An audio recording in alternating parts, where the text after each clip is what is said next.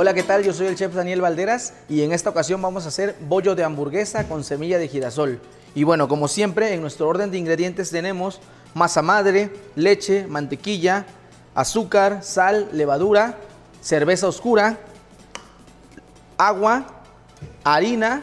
En nuestros secos, aquí en nuestro, en nuestro bowl de secos tenemos harina, leche en polvo y fécula de papa. Ok, entonces nuestra semilla de girasol de Estados Unidos es para la decoración final de nuestro bollo. Y bueno, vamos a iniciar agregando la masa madre en nuestro bowl.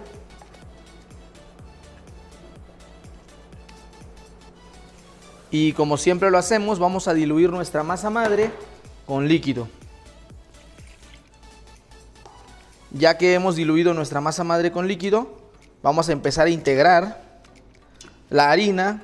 En este caso vamos a integrar todos los ingredientes de una sola vez hasta generar una masa. Y ya que la masa está lista, vamos a dar una primera fermentación. Entonces voy a agregar la cerveza oscura. Estoy mezclando para que se mezcle junto con la masa madre.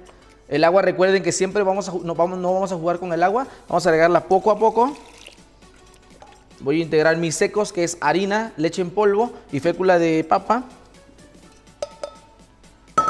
Como tenemos muy poca cantidad de mantequilla, la podemos agregar desde esta parte. Cuando no supera el 10% de mantequilla sobre el kilo de harina, se puede integrar desde el inicio del amasado. Cuando es arriba de un 15%, se debe de integrar hasta el final, de lo contrario pierden estructura nuestras masas. Vamos a integrar azúcar, sal y bueno, aquí voy a mezclar un poco nuestra masa para que no haga contacto con la sal, pero voy a integrarla casi eh, después de que se mezcle un poquito, ya tendrá la, levadura.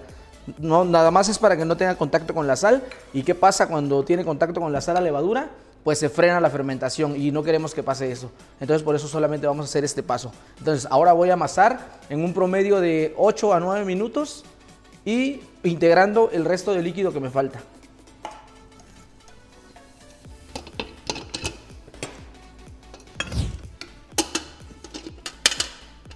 Bien, pues nuestra masa de bollo de hamburguesa ya está lista. Como siempre, yo soy enemigo de desarrollar gluten al 100%. En determinados casos sí lo hago para algunos amasados, pero para esto no es necesario. ¿Por qué? si desarrollamos gluten al 100%, lo que va a pasar es que nuestro producto se va a reventar. Y con el reposo se termina de desarrollar nuestro gluten, entonces no es necesario desarrollar gluten al 100%. estas costumbres están arraigadas mucho a las técnicas que se tienen de panadería normalmente aquí en México, que son amasados muy intensivos, pero no es necesario. Podemos tener una nueva costumbre de amasar menos y trabajar más con reposos que amasados. Y bueno, ahora mi masa así tal cual como está, solo le voy a dar una pequeña boleada. Y ahora va a la fermentadora, que de una primera fermentación, unos 30 minutos, máximo 35-40, y después preformamos y formamos. Ahora va directamente a fermentación. Bien, pues nuestra masa de hamburguesa ya tuvo una primera fermentación y ahora vamos a dividirla y a formarla. Primero dividimos todas nuestras piezas en el peso deseado. Normalmente el peso de una hamburguesa es de 90 a 100 gramos o 110 gramos, dependiendo del tamaño de la carne. También tiene que ver mucho con el tamaño de la hamburguesa y el peso que vas a, a tener. En este caso los vamos a hacer de 100 gramos. Aquí no me interesa mucho que se desgasifique o no, porque de todos modos la voy a bolear y se va a desgasificar. Pero por eso estamos en este punto de la fermentación, en la que no pasa nada si golpeo la masa y no se desgasifica, porque está en una primera fermentación. No ha terminado su ciclo, eh, está perfectamente, se puede, está maleable. ¿Qué pasa si dejamos que la masa fermente completamente y la desgasificamos? Pues hacemos que el proceso de fermentación trabaje dos veces. Entonces nos vamos a quedar sin azúcares en nuestra masa y cuando metamos nuestro pan al horno va a salir un pan reseco o falto de color. ¿Por qué? Porque ya no tenemos azúcar y no llega la caramelización en el momento que tiene que llegar en el horneado. Entonces, piezas de 100 gramos.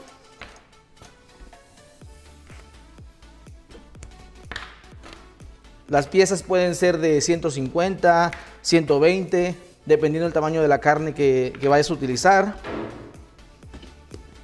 Es como tú lo puedes porcionar. Bien, ahora ya que tengo mis piezas porcionadas, voy a bolear. ¿Cómo voy a bolear? Voy a cerrar mis manos así y voy a ir desde adentro hacia afuera.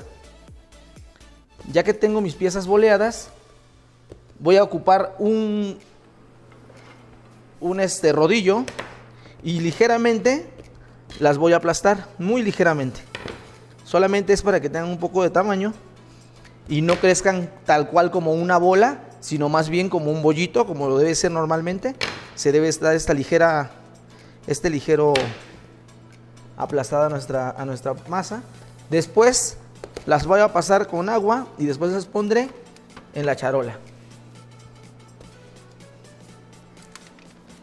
Y así estará quedando nuestro bollo. Ahora vamos a terminar todos los, nuestros bollos. Entonces, de preferencia primero boleamos todos y después empezamos a formarlos, a, darles forma con el rodillo, desde la primera que, que boleamos hasta la última.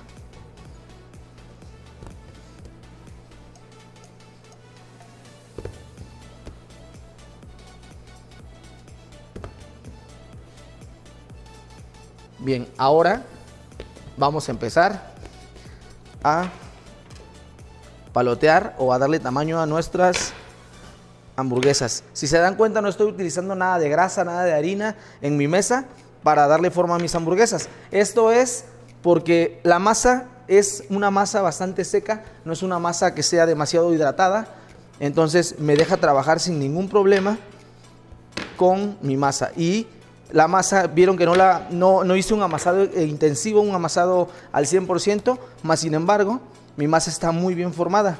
El resto lo, ha hecho el reposo.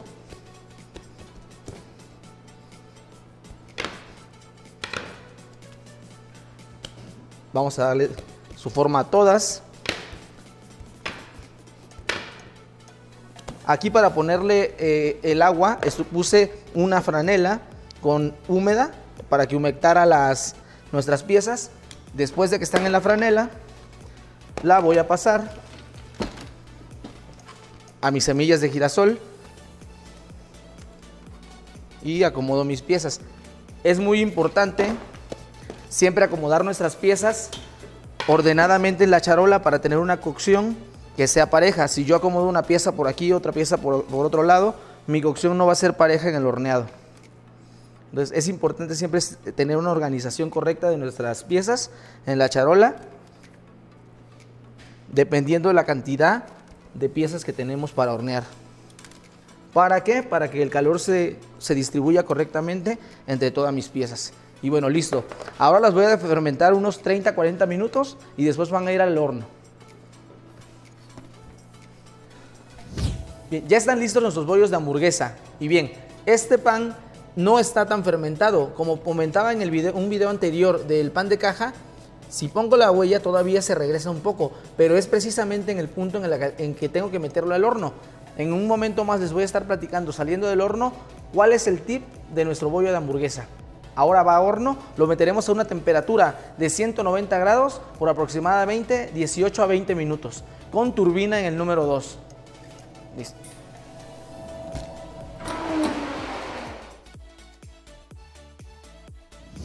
Ya están listos nuestros bollos de hamburguesa con semilla de girasol y los vamos a sacar en este momento de horno para ver el resultado final. Y listo.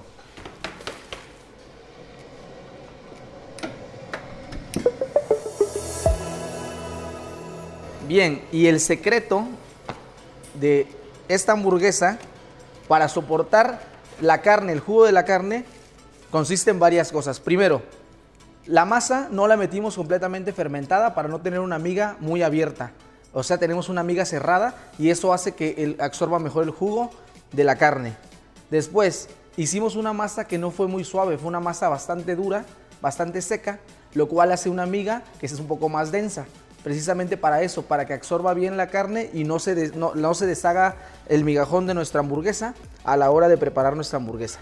Entonces, ya está, tiene un olor increíble y pues la textura entre semillas de girasol y el pan va a ser muy buena. Entonces, esto fue nuestra receta, espero que les haya encantado y bueno, síganos en nuestras redes sociales y sigan todos los videos que vamos a estar publicando de semillas de girasol de Estados Unidos.